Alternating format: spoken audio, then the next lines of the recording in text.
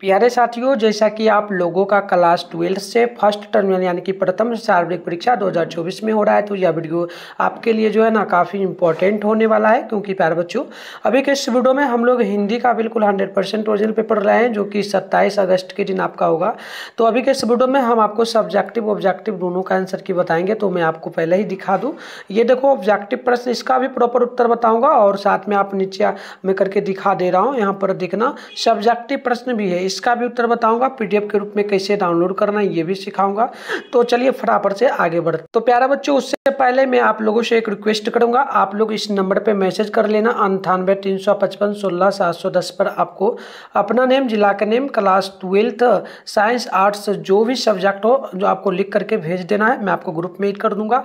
और चैनल को सब्सक्राइब करके नोटिफिकेशन को ऑल पे प्रेस कर लेना, क्योंकि इसके बाद इंग्लिश का पेपर डालेंगे। और प्यारे बच्चों आपका जो अगर आर्ट्स वाले आप लोग बच्चे तो आर्ट्स का पेपर हम लोग सारा history geography history home science जो भी होगा सारा डालेंगे तो आप तैयार रहना। नोटिफिकेशन को क्या करो? वीडियो का नोटिफिकेशन आपको नहीं मिलता है। इसका रीज़न है कि आप चैनल को सब्सक्राइब करते हो, लेकिन एक नोटिफिकेशन होता है, उसको ऑल पे प्रेस कर देना, उससे आपको दिखेगा, ठीक है? तो देखो साइंस आर्ट्स कॉमर्स किसी भी सब्जेक्ट से हो तो तीनों सब्जेक्ट के लिए सेम एक सौ छः आपका साइंस के लिए है, दो सौ छः विषय और आपका कॉमर्स के लिए है, और तीन सौ छः आर्ट्स के लिए और टाइम आपको डेढ़ घंटा का मिलेगा, पचास नंबर का एग्ज़ाम होगा। चलिए, बिना देरी करते हुए आगे बढ़ते हैं। यहाँ पर एक से लेकर के तीस तक प्रश्न है, आपको किन्हीं पच्चीस प्रश्नों का जवाब देना होगा। ठीक है? चलिए बढ़ते हैं पहला नंबर क्वेश्चन की ओर। ये आपसे बोला कि सिपाही की माँ किस विधा की रचना है? तो बिल्कुल याद रखिएगा, सिपाही की माँ जो है यह एकांकी की रचना है, यानी एकांकी में लिखी गई है तो ऑप्शन नंबर ए बिल्कुल करेक्ट होगा। दो नंबर क्वेश्चन है, जयशंकर प्रसाद का जन्म कहाँ हुआ था? तो दो नंबर का याद रखना है, उनका जन्म बनारसी में हुआ था, यानी कि राइट आंसर ऑप्शन सी होगा। आगे बढ़ते हैं। यहाँ पर देखिए क्वेश्चन नंबर आपसे तीन नंबर पूछा जा रहा है। झूठन शीर्षक आत्मकथा के लेखक कौन है? तो याद रखिएगा, तीन नंबर का ऑप्शन नंबर सी करेक्ट हो जाएगा। यानी कि ओम प्रकाश वाल्मीकि होगा। ऑप्शन नंबर सी आप लोगों को याद कर लेना है। तो चलिए आगे बढ़ते हैं प्यारे बच्चों, यहाँ पर देखिएगा। क्वेश्चन नंबर जो आपसे पूछा है ना, चार नंबर, ये क्या पूछा जा रहा है? ध्यानपूर्वक से देखिएगा। प्रश्न बोला कि हँसते हुए मिला अकेलापन पाठ के लेखक कौन है? तो याद रखना है आप लोगों को। इसका बिल्कुल जो राइट आंसर हो जाएगा, फटाफट से कमेंट करना। तो देख लीजिए चार का राइट आंसर ऑप्शन नंबर जो है यहाँ पर बी नंबर हो जाएगा Malayaj option number B note कर लेना है। आगे है क्वेश्चन नंबर पाँच। जूटन किस विधा की रचना है? तो पाँच का ऑप्शन नंबर ये हो जाएगा, आत्म कथा का। यानी ऑप्शन नंबर ये आपको नोट करना है। आगे बढ़ते हैं छः नंबर क्वेश्चन की ओर। ये बोला, प्रगीत और समाज साहित्य की किस विधा की रचना है? तो छः नंबर का ऑप्शन ये हो जाएगा, आलोचनात्मक निबंध का। ऑप्शन नंबर इसका भी ए नंबर बिल्कुल करेक्ट हो जाएगा। सात नंबर क्वेश्चन को देख लीजिए। बोला गया, उसने कहा था, का रचना किस वर्ष में हुआ था? तो याद रखना है सात नंबर का ऑप्शन नंबर सी करेक्ट हो जाएगा। 1915 में हुआ था तो ऑप्शन नंबर सी आप लोगों को याद कर लेना है। आगे क्वेश्चन देख लीजिए। आठ नंबर बोला गया जयसी का जन्म स्थान क्या है? तो आपको याद रखना है आठ नंबर का। ऑप्शन सी होगा जो है ना, जायस जायस नगर ऑप्शन नंबर सी करेक्ट हो जाएगा। नौ नंबर है, साहित्य रौली के रचनाकार कौन है? तो नौ नंबर का ऑप्शन नंबर बी नोट कर लेना है, सूरदास। ऑप्शन नंबर क्या होगा? बी नंबर, बिल्कुल यहाँ पर करेक्ट हो जाएगा, ठीक है? चलिए, और आगे बढ़ते हैं, बिना देरी करते हुए। आप लोग वीडियो को लाइक नहीं अगर किए तो कर लेना, ठीक है? हम आपको पीडीएफ के रूप में बताएँगे कैसे डाउनलोड करना आंसर की टेंशन आपको नहीं लेना है, ठीक है? सब्जेक्टिव का भी बता देंगे। चलिए, दस नंबर है, नवादास किसके विशेष थे? तो याद रखिएगा दस का ऑप्शन नंबर यहाँ पर जो है ना डी नंबर बिल्कुल करेक्ट हो जाएगा। यानी कि अगर दास जी का ऑप्शन क्या होगा? डी बिल्कुल करेक्ट होगा। आगे क्वेश्चन नंबर ग्यारह बोला जा रहा है। सरैया मान, सरैया मन ताल का जल कैसा है? तो ग्यारह का ऑप्शन नंबर नोट कर लेना है। बिल्कुल यहाँ पर एक करेक्ट होगा, स्थिर है। ऑप्शन नंबर ए करेक्ट होगा। बारह है, चित्रलेखा किसकी कृति है? तो बारह का right answer option number C होगा। मलिक मोहम्मद जायसी का ऑप्शन सी बिल्कुल करेक्ट हो जाएगा। आगे बढ़ते हैं, तेरह नंबर की ओर ये बोला, कवितावली के रचनाकार कौन है? तो आपको तेरह नंबर का याद रखना है ऑप्शन नंबर ए हो जाएगा, यानी कि तुलसी दास। ऑप्शन ए बिल्कुल करेक्ट हो जाएगा। क्वेश्चन नंबर यहाँ पर जो बोला जा रहा है, चौदह नंबर की कंकाल उपन्यास के उपन्यासकार कौन है? तो चौदह का right answer option number C हो जाएगा, Jaishankar Prasad. Option number C आप लोगों को नोट कर लेना है। आगे बढ़ते हैं, पंद्रह नंबर की ओर, पंद्रह नंबर क्वेश्चन बोला बालकृष्ण भट्ट किस युग के रचनाकार हैं? तो पंद्रह का ऑप्शन नंबर नोट कर लेना है। सी नंबर करेक्ट होगा भारत टेंडू युग के। ऑप्शन सी बिल्कुल करेक्ट हो जाएगा। आगे देख लीजिएगा क्वेश्चन आपसे जो बोला गया है, सोलह नंबर बोला गया, शिक्षा शीर्षक निबंध के रचनाकार कौन है? तो सोलह का बिल्कुल ऑप्शन नंबर डी नोट कर लेना है। जी कृष्ण मूर्ति तो ऑप्शन नंबर डी होगा। प्यारे बच्चों, अब जो है पहले मैं आपको पीडीएफ के रूप में इसका आंसर की डाउनलोड करने के लिए सिखा देता हूँ। ताकि आप आराम से जो है लिख पाओगे तो चलिए पहले आप अपने फ़ोन में क्रोम या गूगल को ओपन कर लीजिए। तो प्यारे बच्चों इसके लिए सबसे पहले तो आप अपने फ़ोन में ना गूगल को ओपन कर लीजिए। यहाँ पर गूगल है और उसके बाद आप, आप सर्च बार के आइकन पे क्लिक कर लीजिए ठीक है?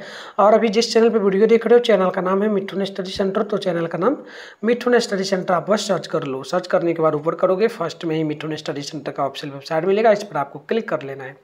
क्लिक करने के बाद इस प्रकार से इंटरफेस ओपन होगा। आराम से स्कॉल डाउन करके आपको नीचे चले आना है। नीचे आओगे तो आपके सामने जो है क्लास ट्वेल्थ का सॉरी ट्वेल्थ है ना? हाँ ट्वेल्थ का सेशन आपको देखने को मिलेगा। ये रहा, ये फ़र्स्ट में जो लिखा है, इस पर क्लिक कर लोगे। इसके बाद आप स्कॉल डाउन करके नीचे आओगे। देखो, इस प्रकार से इंटरफेस ओपन होगा। आराम से स्कॉल डाउन करके आप नीचे आओगे, यहाँ पर देखना। पहले व्हाट्सएप ग्रुप टेलीग्राम ग्रुप को भी ज्वाइन कर लेना। देखो, यहाँ पर लिंक आपको मिलेगा, ठीक है? ज्वाइन आप पे क्लिक करके इसे भी ज्वाइन कर लेना, फिर नीचे आओगे। तो आप लोगों को यहाँ पर देखो साइंस का सेशन है ये। इसमें भी हिंदी, इंग्लिश, उर्दू सबका दिया गया है। जो भी करना होगा कर सकते हो। आर्ट्स के सेशन से, देखिए आर्ट्स में जिन बच्चों का एग्ज़ाम बचा हुआ है, मैं पहले ही बोल रहा हूँ पेपर डालूँगा और यहाँ पर भी आंसर मिलेगा। तो आप लोग जो है ना यहाँ पर से भी डाउनलोड कर सकते हो और चैनल को सब्सक्राइब कर ज़रूर लेना, ठीक है? चलो तो हिंदी है, सामने डाउनलोड लिखा है डाउनलोड पे क्लिक करेंगे। क्लिक करने के बाद इस प्रकार से जैसे ही इंटरफेस ओपन होगा, आपको क्या करना है, एक बार जो है पेज को रिफ्रेश करना देखिए, एक बार पेज को नीचे की ओर जो है ना खींच देना है, इससे पेज रिफ्रेश हो जाएगा, कुछ भी नया डाला जाएगा तो आपको दिखेगा, ठीक है? जैसे कि सब्जेक्टिव क्वेश्चन अगर मान लो डाला जाएगा तो आपको दिख जाएगा। तो आराम से स्कॉल करके नीचे आओगे इस प्रकार से, ऐसे आना है। ऑब्जेक्टिव का देख लो, यहाँ पर प्रॉपर तीस प्रश्नों का उत्तर डाल दिया हूँ। आगे आओगे तो सब्जेक्टिव का यहाँ पर उत्तर में डाल दूँगा। अभी जस्ट वीडियो देखने के बाद जाओ पेज को रिफ्रेश करना, आपको आंसर की मिल जाएगा, ठीक है? तो आकर के यहाँ से आप लोग डाउनलोड कर लेना। तो प्यारा बच्चों, यहाँ पर देख लीजिएगा उन्नीस नंबर क्वेश्चन है। जिसने गुरु से दीक्षा ली है, उसके लिए एक शब्द क्या बनेगा? तो आप उन्नीस का याद रखिएगा। ऑप्शन नंबर सी हो जाएगा दीक्षित। ऑप्शन सी करेक्ट है। बीस नंबर है, चमक शब्द में कौन सा लिंग होगा? तो बीस का नोट करना है। ऑप्शन बी होगा या स्त्रीलिंग हो जाएगा। इसके आगे आप लोग इक्कीस नंबर को देख लीजिएगा, दीपावली शब्द में कौन सी संज्ञा हो सकती है? तो इक्कीस का ऑप्शन नंबर आपको ए नंबर नोट करना व्यक्तिवाचक संज्ञा।